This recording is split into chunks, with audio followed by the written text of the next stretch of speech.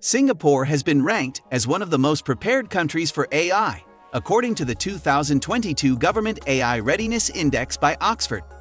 Both the USA and Singapore sit far ahead of the other top-scoring countries, with a 5.58 point difference between Singapore and the United Kingdom, which comes in third place, noted the report. Different governments and power centers around the world are also pushing towards the AI era with great enthusiasm.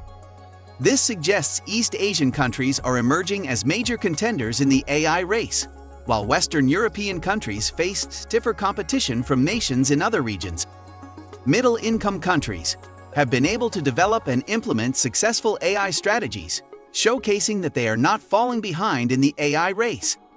The higher proportion of middle-income countries we see working on AI strategies this year reflects the fact that high-income countries were the first income group to form national AI strategies, states the report. Like and subscribe for the most relevant news about the world of the metaverse.